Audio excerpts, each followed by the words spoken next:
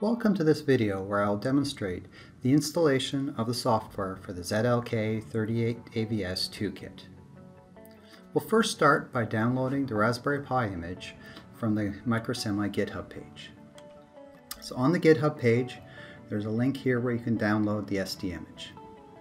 I've already downloaded it, so we don't need to do that again here. Next, we use Etcher to burn the software. So you can download the Etcher software from etcher.io. And once you've downloaded Etcher, we can select the image that you've downloaded. So here it's the Raspbian ZLK38AVS version 2. Then you want to select the drive where you've put the SD card into your computer. In my case, it's this one here. And there should also be the 31 or 32 gig drive. Make sure you choose the right drive because it will erase everything on it.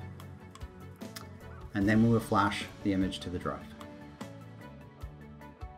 It does take some time to do the flashing, so while that's going on, I'd suggest if you don't already have a VNC program to download Real VNC onto your computer.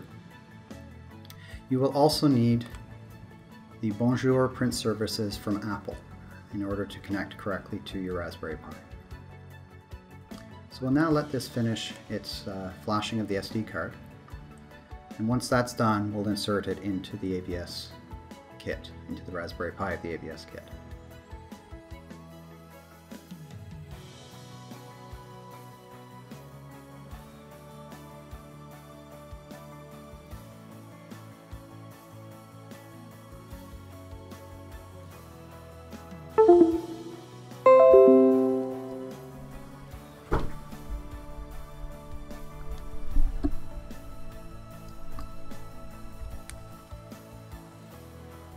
Now that it's finished, I've removed it from my computer and we'll insert it into the Raspberry Pi.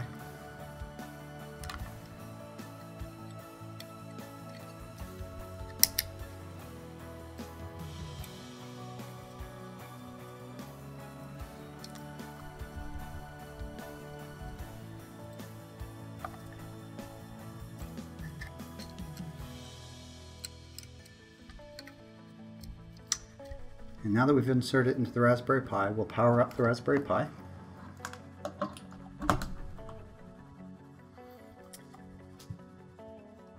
And then we will, once it's fully powered up, which it looks like it is, we will open up our VNC viewer. And what we'll do is we will go to the host name of the Raspberry Pi, which is microsemi-avs.local.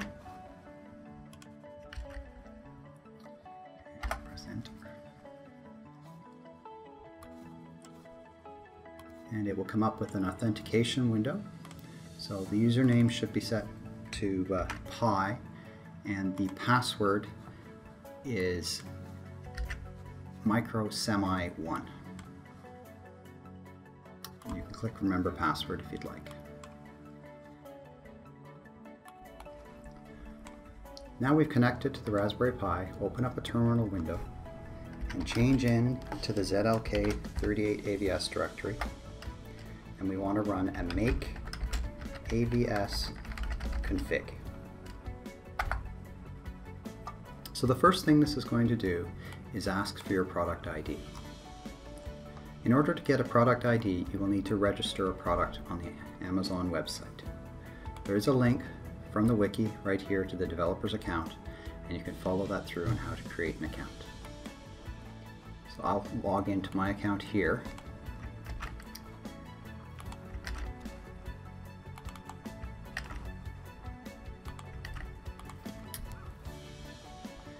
navigate over to where my AVS device is.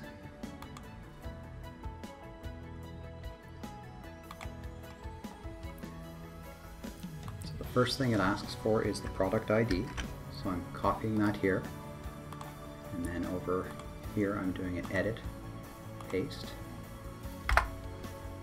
Now it asks for the client ID.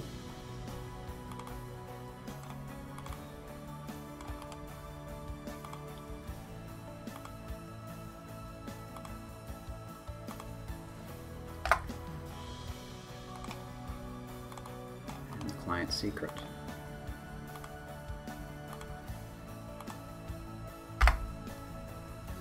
So now it's asking you to open up your web browser right here. So we open up our web browser and you need to go to http colon slash slash localhost 3000.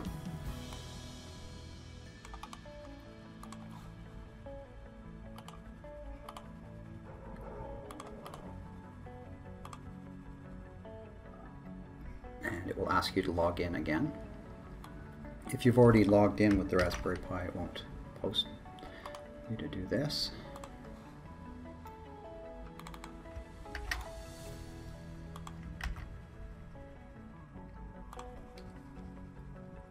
So this is just associating the ID with the uh, actual device.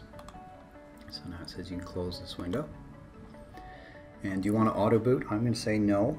Um, normally you might want to say yes, so when you power it up, it automatically boots up.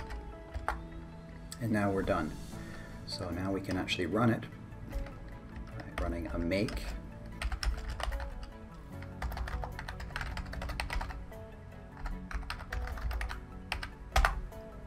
Make start Alexa.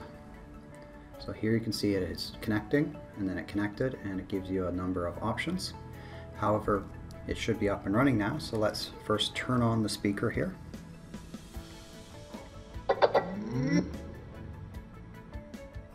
So my speaker is on, so if everything's working, I should be able to uh, test it out. Alexa, what time is it? It's 10:44 a.m. So you'll notice that when I said her name, the green light came on to notify that uh, she'd heard me, and then I was able to ask my question. As I mentioned in the previous video, in a future release, the LED ring will uh, light up. Alexa, who are you? I'm Alexa and I'm designed around your voice.